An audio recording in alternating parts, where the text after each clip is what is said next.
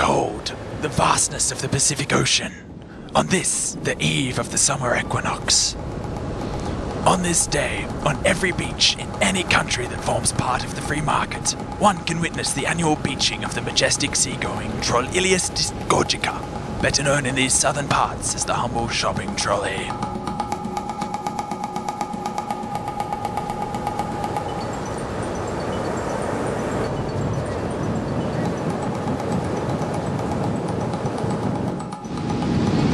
Hello, and welcome to the amazing world of amazing nature.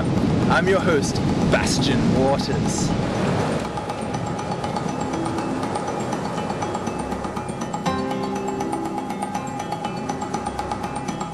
With all the maneuverability that they're infamous for, out of the sea and into the dunes, the trolley propels itself forwards with sweeping motions of its wheels.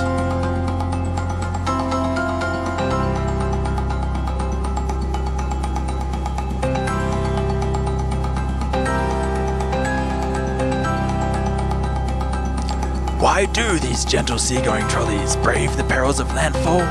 Let's look. As you can see, I'm currently hiding next to an enigmatic trolley. Watch as she burrows into the very sands from which she herself was born.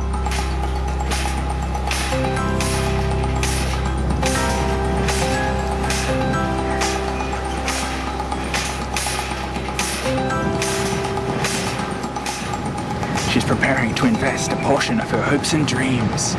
A single egg.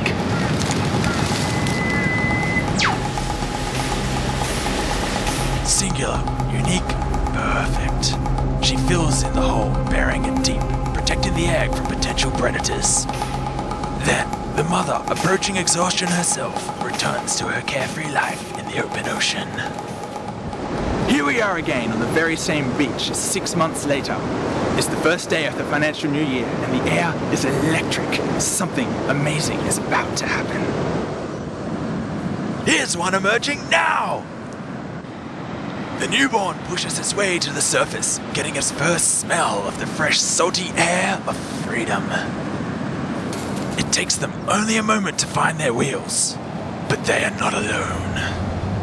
Trolley boys stalk the dunes, minimum wage mercenaries hired by supermarkets and shopping centers. Their strike is sudden.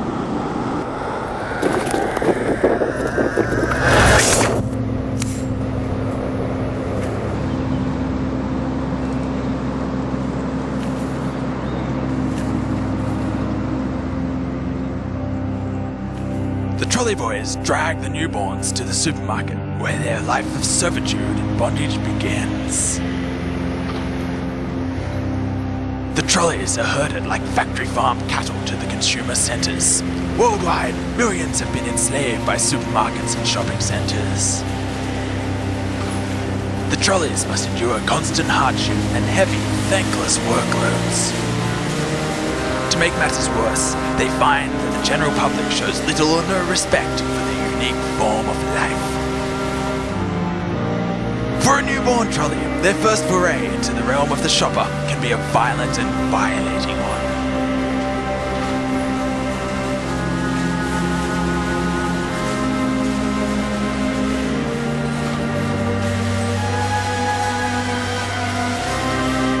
Once fully grown, a trolley's gauge has a storage capacity between 300 and 500 liters, and some of them are absolutely huge.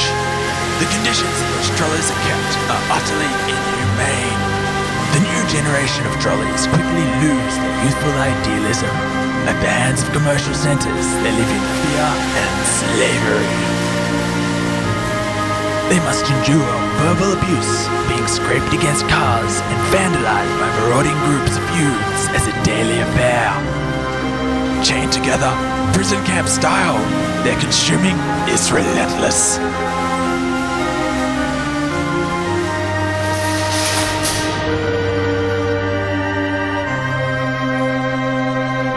The common trolley was domesticated in 1936 by an entrepreneur named Sylvan Goldman. Goldman was the owner of Piggly Wiggly supermarket chain based in Oklahoma City, the United States of America.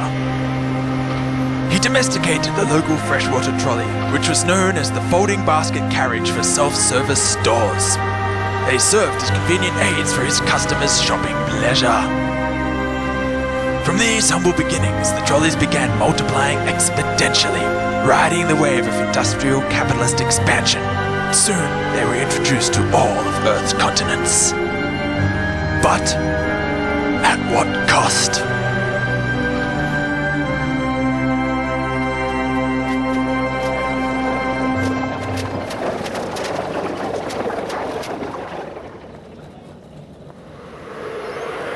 For a long time, the trolley's racial memories elicit feelings of deep disquiet, a longing to return to their home in the deep.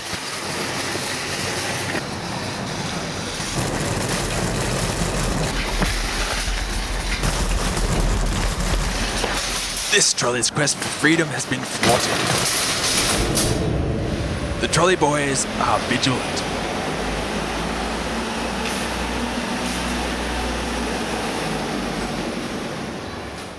On a quiet Wednesday afternoon, this trolley finds itself left unattended.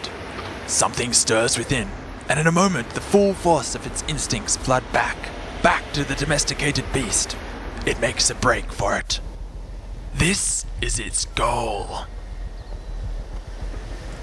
And it's off!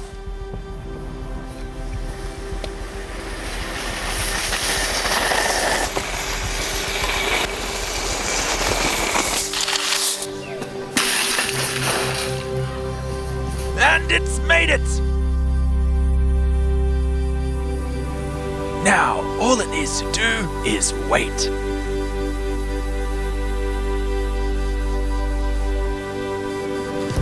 This one's on its way back to the sea now. The trolleys must be patient. They must play dead. Moving only under cover of darkness, the trolleys inch themselves through the drains, the rivers, the estuaries that lead them back, back to the mighty Pacific Ocean.